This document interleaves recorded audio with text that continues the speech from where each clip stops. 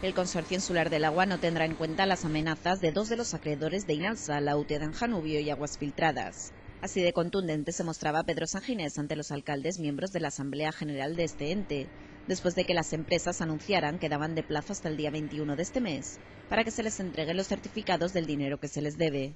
En caso de que esto no se cumpliera, pedirían que se ejecuten los embargos a los exgestores de la empresa pública. El presidente vuelve a recordar que la última palabra la tiene el juez de lo mercantil. Los acreedores ni ejecutan embargo ni marcan la agenda del consorcio. Serán las indicaciones del juez de lo mercantil las únicas que sean tenidas en consideración, al menos por este eh, presidente. Eso eh, que quede claro a la opinión pública. El consorcio defiende intereses generales y los acreedores sus intereses particulares.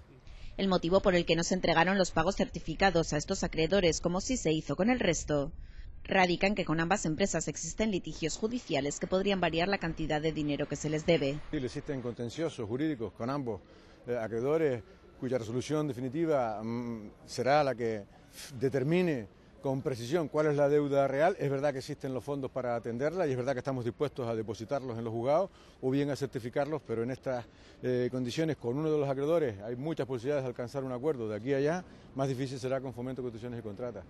Ginés considera que con aguas filtradas sí se podría llegar a un acuerdo, ya que ellos tienen otro contencioso presentado por la rescisión del servicio de saneamiento, que ahora presta Canal Gestión Lanzarote, y por el que piden dos millones de euros de indemnización.